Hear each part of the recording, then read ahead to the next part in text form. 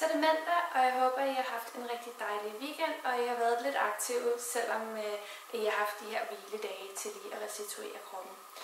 Øhm, vi skal igennem seks forskellige øvelser i dag, så det er lidt anderledes fra øh, sidste uge, hvor vi kørte fire øvelser igennem, men seks forskellige øvelser i dag.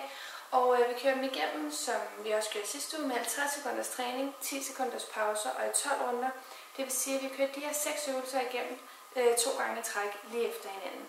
Så prøv så godt I kan at give det en chance, og så øh, synes jeg ellers bare, at vi skal komme i gang. Jeg er sikker på, at I er fyldt med energi efter at have lavet op i weekenden.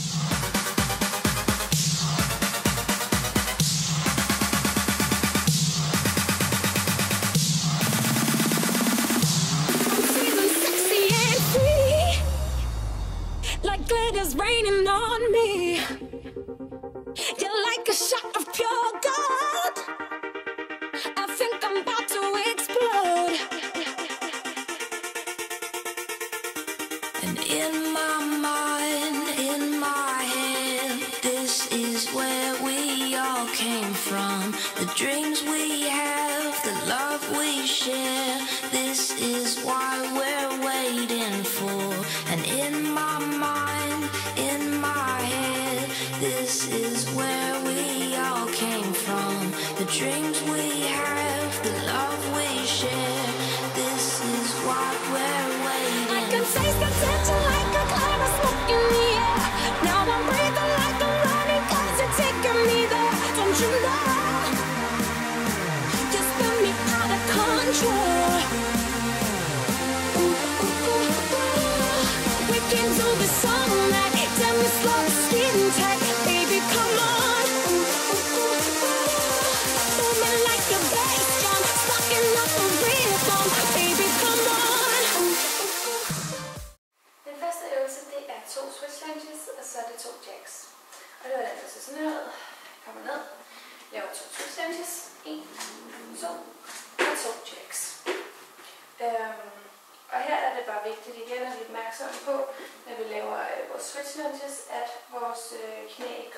kommer.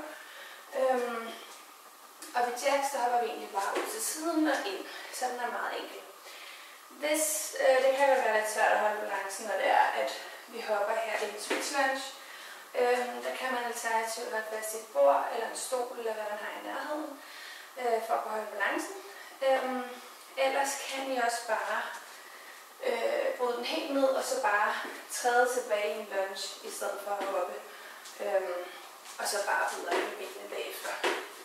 Godt, den næste øvelse, det var så en side lunge med en squat. Øhm, og jeg bruger en vægt for at gøre øvelsen lidt hårdere, for at presse mig selv lidt mere.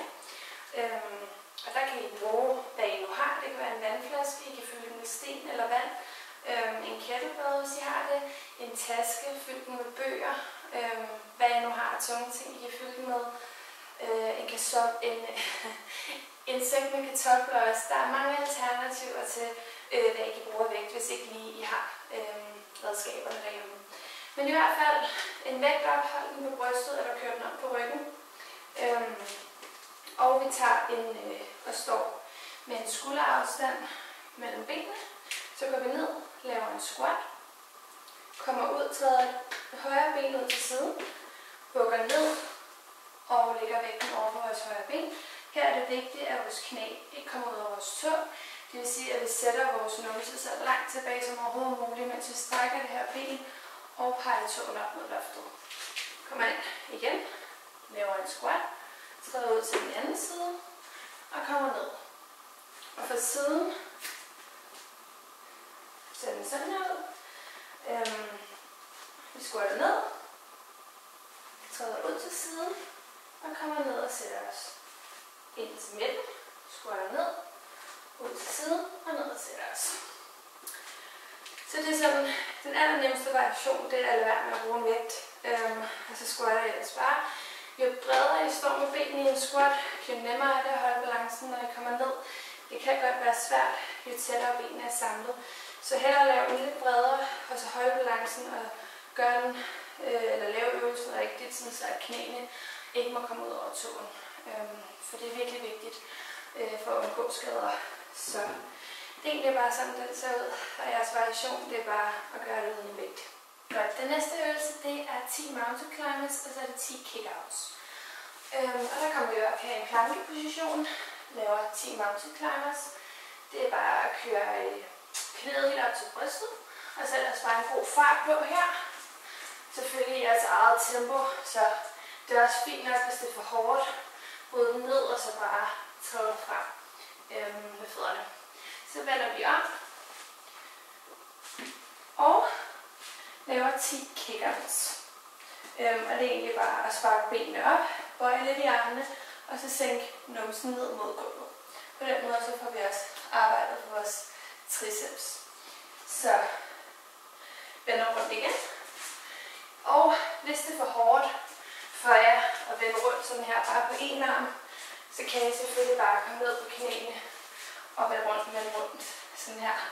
Og så bare lave 10 kicker så igen i jeres helt eget tempo, alt efter øhm, hvor jeres niveau er og hvad I synes der er hårdt. Den næste øvelse, det var så en elevated underneath tuck, en alligator og en opposite knee to elbow. Øhm, og det, det var den, der så sådan her ud. I tager vores ben op på et eller andet. Det kan være et bord, øh, en sofa, alt efter hvad I har. Jeg har også sådan her klapstol. Øhm, op med vores ben. Så kører vi knæet ind under op til brystet. Tilbage. Ud til albuen. Tilbage. Og så kører vi den ind under over til den anden albue. Altså sådan her. Øhm, det er egentlig sådan, den ser ud. Hvis det er for hårdt for jer at have benene op på noget, så kan I alternativt også bare øhm, gøre det på gulvet, så I bare kører benet ind under, ud og over til den anden albue. Øhm, og igen, hvis det er for hårdt at stå heroppe, kom ned på albuerne, kør benet ind under, ud til siden og over til den anden albue. Øhm, så på så godt I kan. Lav så mange som I overhovedet kan.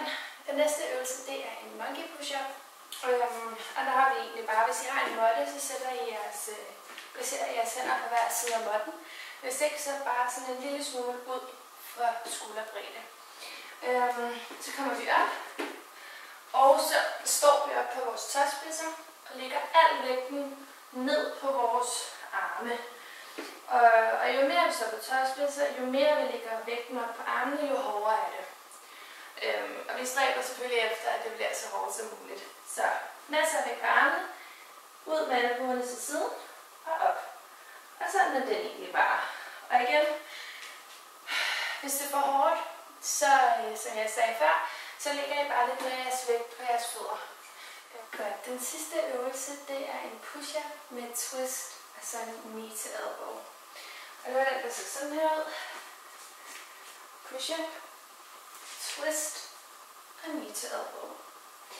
Øhm, det vi gør, det er, at vi har lidt spredte ben, øh, og vi har vores hænder i lige ned under skuldrene, og så laver vi en push-up. Så drejer vi op på siden, sådan som vores ben står, tager vores hånd op bag øret, kører det forrest, eller det øverste ben op til albuen, kører ned, og så ellers bare push-up igen, ned, og så drejer vi op til den anden side og gør det sammen. Øhm, hvis det umiddelbart er hårdt, eller ser for hårdt ud, prøv først øh, den der svære variation. Og hvis det er helt håbløst, og I ikke kan finde ud af det, så bryder I den bare ned. Laver en push på knæene. Øhm, det skal også lige siges, at nogen synes, at den her form for push-up er lidt hårdere end en bred push-up. Så det er helt op til jer, alt efter hvad der er nemmest for, øhm, for jer selv. Så der kan I også bare lave en bred en, hvis det er nemmere. Jeg foretrækker bare at lave øh, disse manual tricep push-ups. Men det er helt op til jer. Så i hvert fald øh, gå ned på knæene, så kommer jeg op igen øh, med let spredte ben. Drejer om på siden. Hvis det er for hårdt at stå sådan her, så kan I alternativt komme ned på albuen og ligge. Tag armen op og kør øh, albuen ned til knæet. Og så drejer rundt igen og gør det samme på den anden side. Så det er sådan øh, den nemmeste variation. I kan også, hvis I ikke kan få jeres knæ øhm, Hej! Jeg har lige en hund, der gerne vil være med os. Kom lige der, ligger. Øhm, hvis at det er, at I ikke kan få jeres knæ med op, når I står her, så det er også helt fint. Så står I bare her, øhm, og, og så øh, holder I bare og kører ned igen. Så I behøver ikke få knæet med op. Eller I kan faktisk også bare lægge jer ned, og så køre knæet op sådan her. Så det er sådan den helt nemme variation, men der er altså muligheder for at bryde den ned. Så prøv så godt I kan. Det var det program, vi havde til i dag. Jeg håber, at I synes, det har været fedt, og at det har været motiverende og inspirerende. Øhm, og det er noget, I kan bruge til noget. Øhm, hvis I har nogle idéer eller noget, øh, I synes, vi kunne gøre bedre, så må I rigtig gerne skrive til os. Øhm, ellers ja, så ses vi igen i morgen, hvor vi har endnu en rigtig lækker workout til jer.